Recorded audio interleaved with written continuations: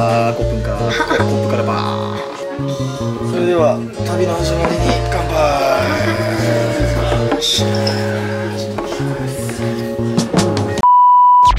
はい、皆さんこんにちは、矢部ゆうなです。どうもどうもどうもどうもどうも。今日からタイ旅行の Vlog がスタートします。3年ぶりに大好きなタイに行って、たくさん楽しいこと、そしてワクワクいろいろあったので、Vlog にまとめていきたいと思います。皆さん動画最後まで楽しんでいってください。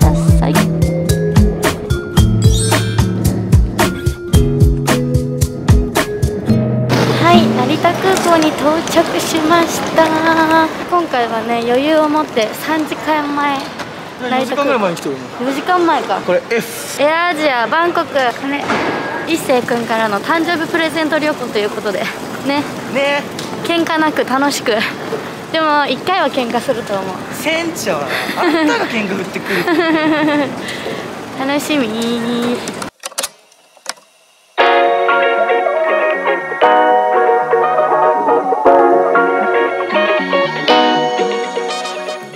はいとりあえず入国チェックインか。チェックイン。が完了しました。なんかね私たちが行く前日にタイの入国規制が変わったり変わんなかったりして。変わって変わっそうたんや。変わって一瞬ねタイに入るのに1日だけワクチン証明書が必要になったんだけどまたコロって変わって証明書がいらなくなったっていう。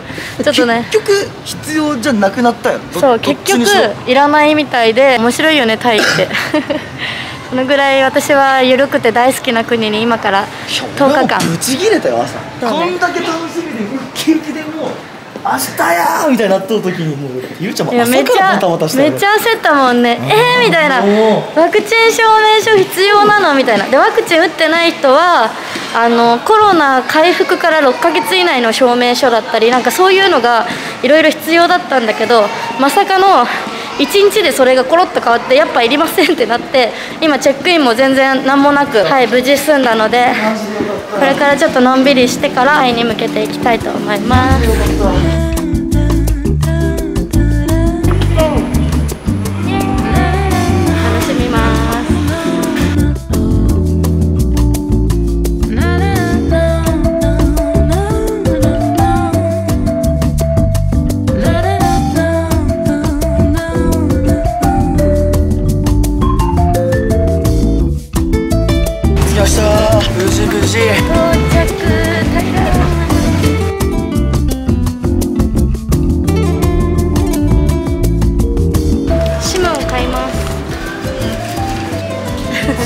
絶対ピースだここでまずシムを買えることができました。なんかコンビニでもできるって言ってたんだけどここのねシムがすごい有名でいいって書いてあったのでとりあえずうちらはここですぐ買いました。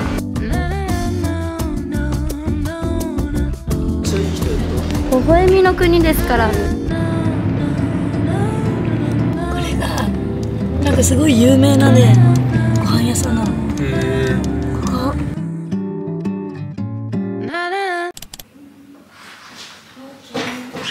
よっしゃーめっちゃいいここがベッドね。めちゃくちゃいい。全然いいめっちゃいいね。全然いい。あ風の扉があるよ。開かないんじゃない？そこはでも映ってなかった。ハイセブンイレあ歯ブラシとか買おうよ。うん買う。リサ。俺何決めてんだ何？カニチャーハン。カニチャーハン。うわ美味しそう。餃子だ。とりあえずもう食ってくれランキング1位がカニチャーハンやったんよ。えー、調べた結果。ないここ。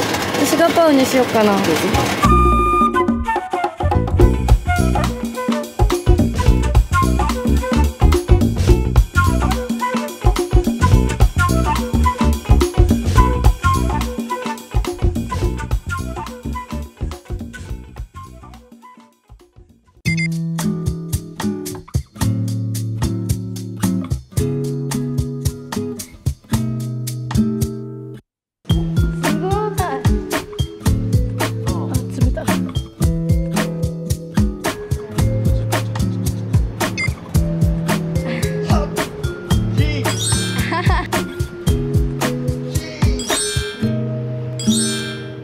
ことでおはようございます。Day2 です。おはようとか言ってもうお昼なんですけど。やってます。あビール飲んでる。やば。なんかタイは夜8時以降はコンビニとかお店でビールが売ってない。いやえっとね12時から2時までがまずやっててそこからちょっと時間が空いて夕方のあ何時か忘れたけど何時かから12時まで。うん。しかお酒は販売できないみたいえじゃあ販売してる時間は何時なの？だから11時から2お昼の？時ねまず。え？だからさっき11時になったから行こうっつったの。お昼の11時から2時まで？が最初。うん。で3時間空いて多分4時か5時ぐらいから12時まで。あ夜のね。うん。そうでうちら昨日着いたのが本当に深夜の3時とかにこのエアビーに着いたのでお酒が飲めなくてようやくさっきビールをね買い出しに行ってビールを買ってきたところですで今回泊まってるエアビが、えっと、カオサン通りの近くのエアビに泊まってるんですけどめちゃくちゃいい感じの部屋でした。1泊2000ちょっとなんだけどすごいお部屋も可愛くて YouTube 映えをするためにねいろんなエアビを探したんですけどここにしてよかったな。なんか立地的にもめちゃくちゃいいよね。うん。真下にはナイトマーケットがあったり、まあ、周りにコンビニもあるしカオサン通りも近いし駅も近いしみたいな感じですごいいい感じの場所を選べてよかったなと思います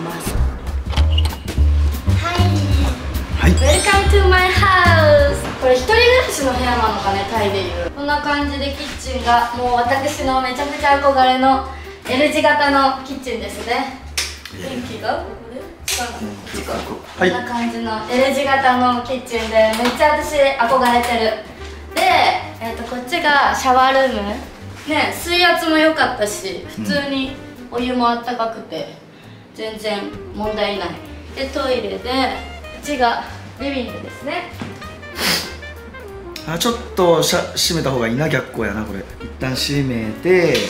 あ暗いね。はいはいオッケーオッケー。ここが？でここがリビングです。このねアーチ型のこれめっちゃ可愛いな。あんま日本じゃなさそうなデザインのウッド調のデザインになってます。でここがリビングでこのテレビはなぜか何もつきません。ちょっと一回チャレンジしてみようよき昨日深夜やったからじゃない？違う？いやわかんない。アンテナが何も接続されてない的な。なさそうよね。チャレンジ。昨日はもうほんと砂あーこれでーす。じゃあこれつけとこう。もう一回スタート。チャレンジ。でこっちがベッドルーム。この部屋がめっちゃ可愛いんだよ。このベッドルームのベッドがめちゃくちゃ可愛くない？ちょっと待ってね。あのエアビーってどんな人がこのお家のオーナーかっていうのが分かるんだけどここの女の子はすごい若い女の子でお部屋もこんな感じですごい可愛くしていていい感じのお部屋です。でベッドはキングサイズかなこれ。ダブルかな、いやだキングがあるよ多分、ううん。ん、キングぐらいあって。逆から見るとこんな感じ。閉めるといっぱいドアがあって収納スペースがいっぱいあるね可愛いよねすごい。こうインテリアとかもすごい可愛くて。うちらはこのお家に5日間6日間か、うん。と滞在するんだけどもうすごい自分の使いやすい感じに見てくださいこちら。じゃーん。はいこんな感じで化粧品並べたり。こっちはパソコン。まあなんかすごいいろいろ収納がいっぱいあっていいなーっていう感じのお部屋です。朝起きた時からねここに住むってもういい音だけどこの人。そうここに住みもう私本当に多分タイのこのゆるさとあと誰も知り合いがいないっていうこの気楽さにやられて住みたいって思って家賃調べたらここは26万円でした。むちゃむちゃ高かった まあでもめちゃくちゃ都心だからね。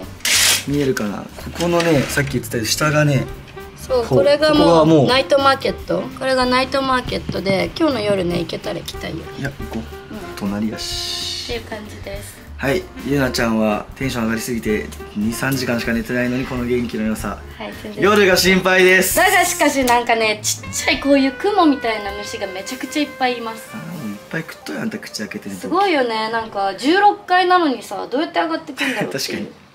まあその辺で虫湧いてるんだろうなってあ感じ。ーそろそろ充電がなくなりそうです。はい